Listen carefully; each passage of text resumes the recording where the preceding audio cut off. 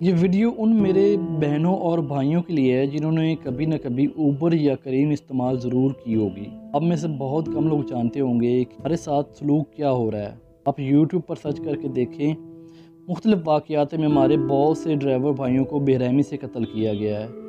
लेकिन ना तो हुकूमत और ना ही ऊबर करीम की इंतज़ामिया ने हमारे हकूक़ और तहफ़ के लिए कोई इकदाम उठाए हैं। बल्कि ये कंपनियाँ ड्राइवर की हलाल कमाई का बहुत बड़ा हिस्सा खुद खा जाती हैं। इस वीडियो में ये एक साठ साल बुज़ुर्ग ऊबर ड्राइवर हैं। बुज़ुर्ग का जुर्म सिर्फ़ ये है कि इन्होंने राइडर को मास्क पहनने का कहा और बताया कि आप जहाँ जाना चाहते हैं, वो ऊबर की सर्विस एरिया से बाहर है। आप में से बहुत लोग नहीं जानते होंगे कि ऊबर पे आप जो ड्रॉप ऑफ़ लोकेशन लगाते हैं, बेशक आप इंडिया की लगा दें।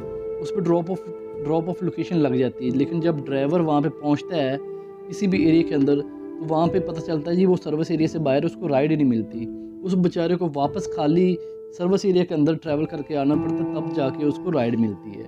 इसी वजह से आपको जब कोई राइड आती है तो अक्सर ड्राइवर ये पूछ रहे होते हैं कि आपने जाना कहाँ है? इसके अंदर जनाब ड्राइवर का कोई कसूर नहीं होता। ये लूप होल जो है ऊबर की एप्लीकेशन ये एप्लीकेशन के अंदर है।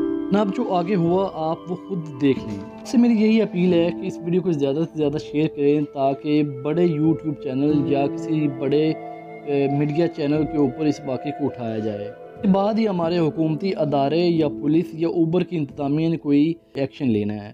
आपसे यही अपील है मोदबाना गुजारिश है आपसे कि आप इसको व्हाट्सएप पे शेयर करें फेसबुक पे मुख्तलिफ़ ग्रुप्स के अंदर शेयर करें वीडियो को।